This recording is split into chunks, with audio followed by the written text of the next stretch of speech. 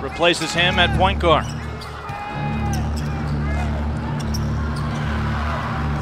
And the agility displayed in midair with the finish.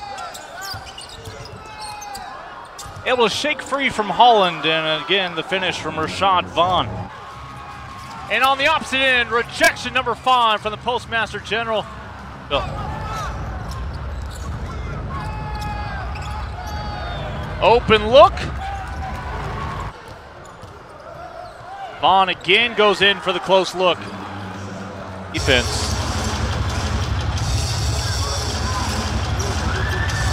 Spurs with a couple of home games as well remaining on this homestand. They're hoping to be riding a victory. I've points scored.